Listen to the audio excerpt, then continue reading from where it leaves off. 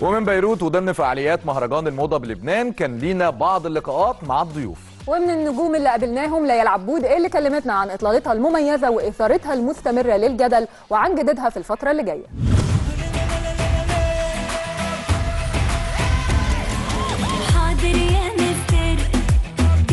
مسيطر ليال عبود واللي معروفة بجرأتها ولوكاتها الجريئة بأغلب حساباتها على ال social media. بدأت تظهر بإطلالات كلاسيكية. ما بعرف يمكن عم بركز أكثر عم خفف إطلالات هيك تكون فيها إثارة. بحس حالي أنا لوحدي مثيره من دون ما ما افتح كثير أمور يعني.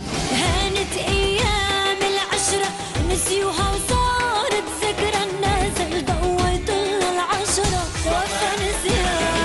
ليال بتفضل اللون الأسود واللي بتظهر بيه في معظم إطلالاتها. لأنه ملك الإطلالات وملك المناسبات الحلوة وهيدا اللون المحبب على قلبي. ليال اليوم ده كانت ملتزمة بال look اللي ظهرت بيه ورفضت أي تغيير فيه. لا خلي عيني مخبايه please mister خطورة ترى كلك أسطورة. سعيدة بنجاح أغنيتها اللي طرحتها مؤخرا واللي حققت نسبة مشاهدة وصلت لأكتر من مليون وتمنمية ألف. كانت نقلة نوعية لليال مش بس بلبنان كمان بالمغرب العربي وبكل ال- الدول العربية مستر خطورة ترى كلك أسطورة واللي خانك ما ينفعك ماله ضرورة؟ ماله ضرورة؟